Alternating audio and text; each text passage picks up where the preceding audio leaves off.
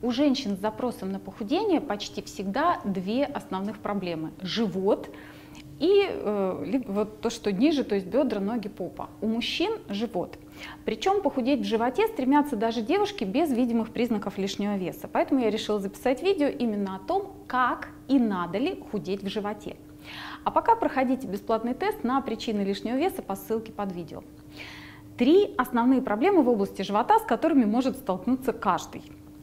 А, первое. Чрезмерные жировые отложения, живот-арбуз. Растянутые мышцы и кожа висит, а, живот висит. И складки внизу живота, очень много лишней кожи. Для начала, как должен выглядеть нормальный живот? Даже при идеальном весе небольшой животик будет, но кожа на нем гладкая. Если вы ложитесь и область живота западает внутрь, то есть в положении лежа живот остается чуть ниже уровня ребер, это нормальный живот без лишнего жира. Тот жир, который формирует приятную округлость в области живота, это небольшой запас, который защищает внутренние органы. Изгонять этот жир из живота не нужно. Как большинство методик предлагает сражаться с жиром на животе? Ну, первое это, конечно, спортзал и качать пресс. Для человека с большим лишним весом это опасно. Можно повредить позвоночник и нарушить работу внутренних органов. Прежде чем укреплять мышцы, надо избавиться от избыточного веса. Второй способ – пластические операции, откачка жира, отрезание лишней кожи.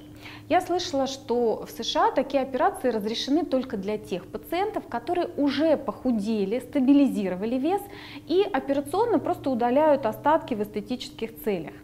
А просто взять и откачать лишний жир у человека с большим лишним весом опасно. Последствия непредсказуемы.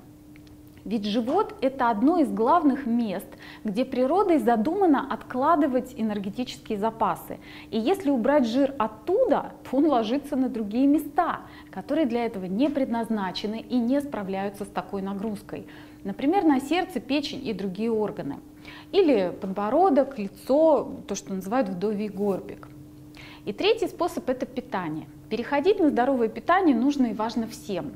Просто когда мы говорим о животе, то избавление от жировой прослойки до него дойдет не скоро. Обычно опадает сначала лицо, грудь и, в общем, по пути можно потерять мотивацию.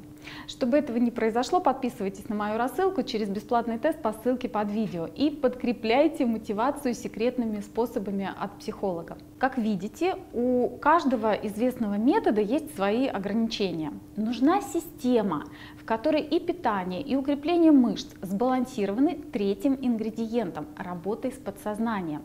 Ведь живот – это зона большого количества психологических зажимов, например, страхов, накопленного стресса, особенно стресса от нереализованных амбиций, там, карьерных, денежных планов, недостигнутого статуса, там, меньшей крутизны, чем у других – Накопление жира в области живота называют кортизольным ожирением, то, что происходит на фоне э, гормона стресса кортизола. Соответственно, чтобы снять лишний жир с живота, нужно сначала справиться со стрессом, а иначе любая диета и фитнес э, идут прахом.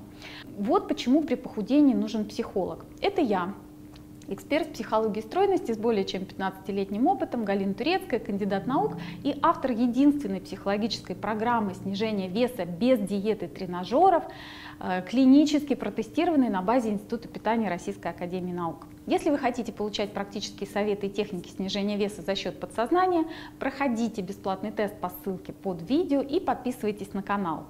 Если нажмете на значок колокольчика, то будете получать оповещения о новых роликах и сможете делиться ими с друзьями. Кстати, можно сделать это прямо сейчас. Я рада вашим комментариям и вопросам под видео. До новых встреч на канале.